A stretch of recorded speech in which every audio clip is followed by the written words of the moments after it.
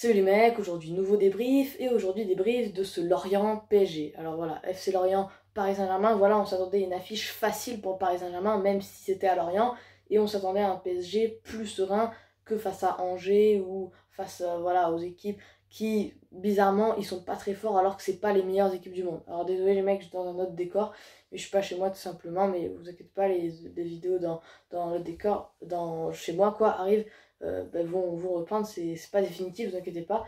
Bref, on va commencer ce débrief. Déjà, Lorient qui fait une très grosse entame de match, voilà, il met direct les points sur les i et Laurent Aber, pardon, va, voir, va venir marquer pour Lorient, 1-0 pour Lorient et c'est entièrement mérité. Mais voilà, Paris va obtenir un penalty juste avant la mi-temps, alors que Lorient, franchement, ils sont pas récompensés. Enfin, ils sont pas, comment dire, Paris n'est pas récompensé, parce que Paris, franchement, ils méritaient pas du tout d'égaliser. Mais voilà, ils égalisent. Ok, 1-1 au retour des vestiaires, on peut se dire que Paris va avoir un tout autre visage.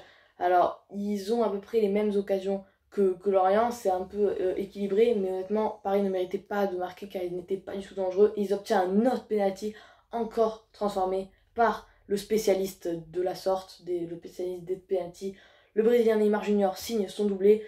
Et euh, malheureusement, voilà, Lorient qui va continuer à pousser, pousser, mais Paris n'aurait clairement pas mérité euh, de, ce résultat. Tout simplement, Paris aurait vraiment mérité de perdre parce qu'on a vu un très beau Lorient. Pourtant, voilà, on sait que Lorient, même euh, à domicile, des fois ils font de très mauvais résultats, comme face à Rennes par exemple. On se rappelle la, la défaite 3-0.